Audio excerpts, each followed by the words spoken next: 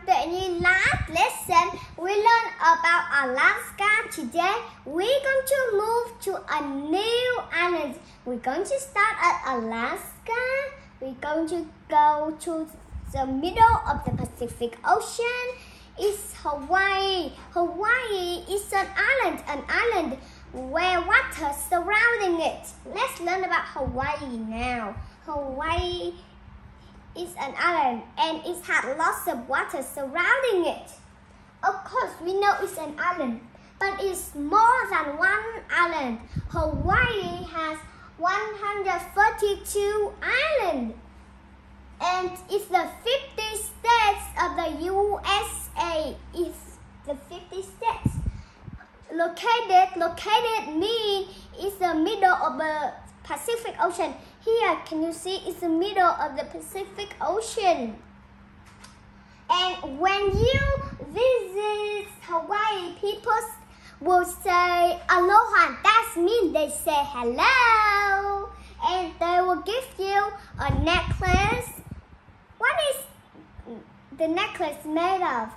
Oh, I remember it now. It's made of flowers, real flowers. Do you know how to make real?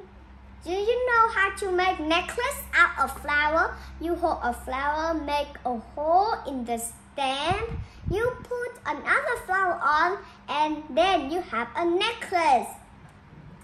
And it's very warm in Hawaii because it's near to the south, and it's very warm there.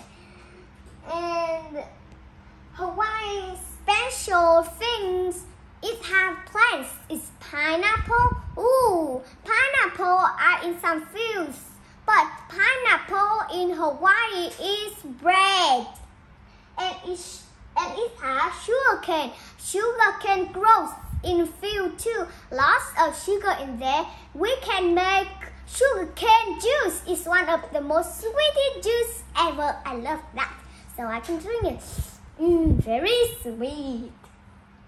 And it has coffee bean. You can call it coffee bean or coffee cherry.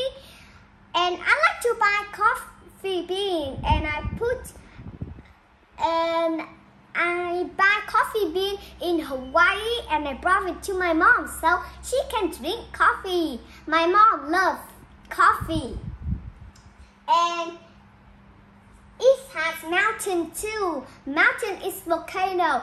Inside the volcano has hot melted rock and smoke and um, and it has smoke. Hawaii is warm because of the volcano.